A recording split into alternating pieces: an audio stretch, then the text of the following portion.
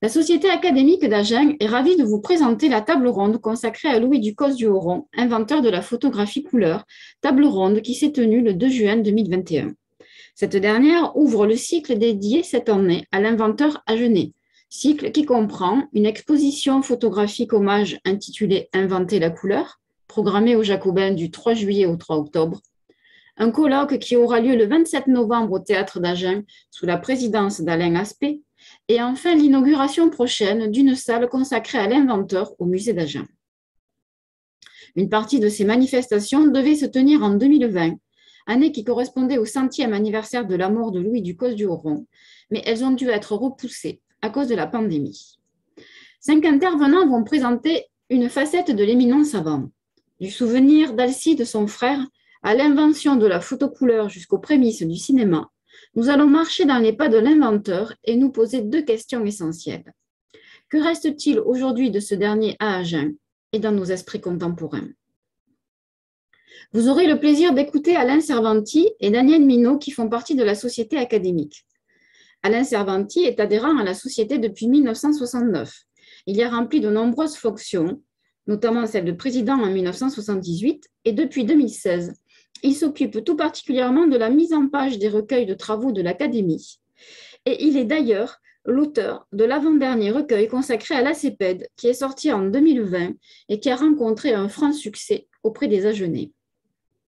Daniel Minot est un tout jeune adhérent à la Société académique.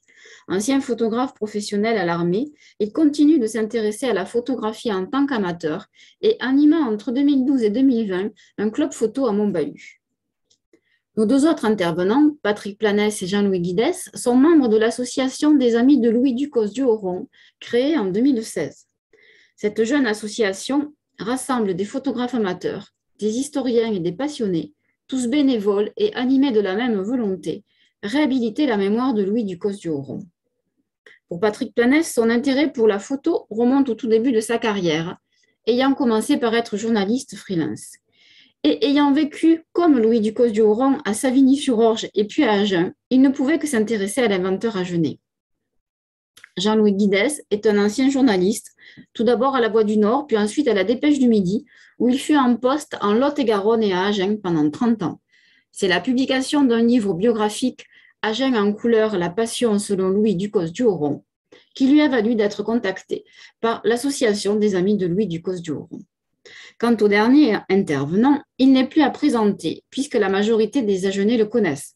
C'est Adrien Anfedac, conservateur du musée d'Agen, que je remercie chaleureusement d'avoir fait dans son calendrier surchargé une petite place à l'Académie. Vous pourrez retrouver l'essentiel de la table ronde dans le numéro 3 de la revue de la Jeunesse de cette année, qui sort fin septembre, parmi d'autres articles consacrés dans ce même numéro à Louis Ducos du Horon, mais également à un autre inventeur à Joseph Lacroix.